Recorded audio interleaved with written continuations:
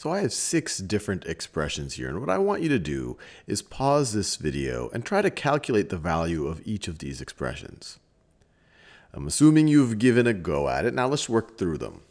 So when we see something like this, we have to remember our order of operations. We have 2 times 3 squared, and we have to remember that the, the, the first thing we need to think about are the parentheses. Parentheses, I'll just write parent for short. Then we worry about exponents exponents, exponents. Then we won't worry about multiplication and division. And actually, let me write it this way. We worry about multiplication and division. And then we worry about addition and subtraction. So in this expression right over here, there are no parentheses, so we do the exponents first. So we calculate what 3 squared is. 3 times 3 is 9. So this becomes 2 times 9, which is equal to 18. Now let's look at this one. This one is interesting because we they have it's a, it looks like the same expression, but now there are parentheses. And because of these parentheses, we were going to, we're going to do the multiplication before we take the exponent.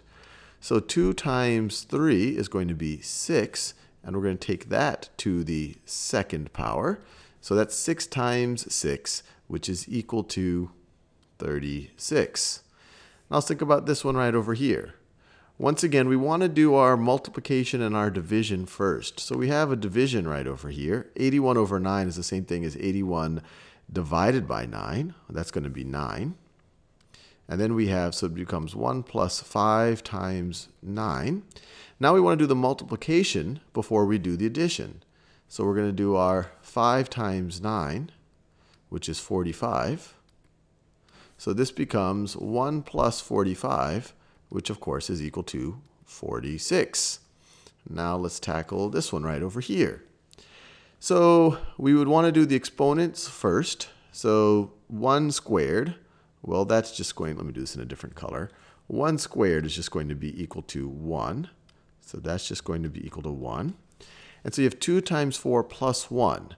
What should you do? Should you add first or do the multiplication first? Well, multiplication takes precedence over addition. So you're going to do the 2 times 4 first.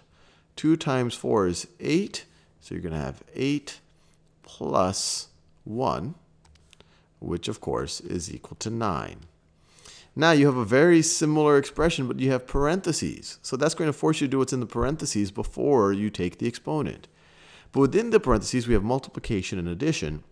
And we have to remember that we do the multiplication first.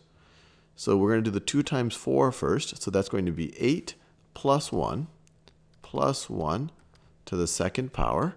8 plus 1 is 9, so that's 9 to the second power. 9 squared, not, or is the same thing as 9 times 9, which is equal to 81.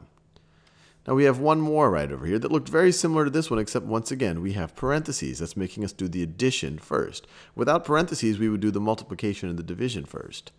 But here we see that 1 plus 5 is 6, and then we have this 81 over 9, which is 9. So this simplifies to 6 times 9, which of course is equal to 54.